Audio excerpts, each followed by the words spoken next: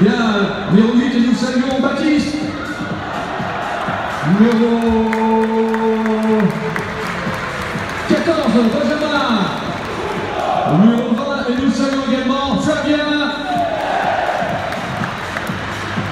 Numéro 7, Martin.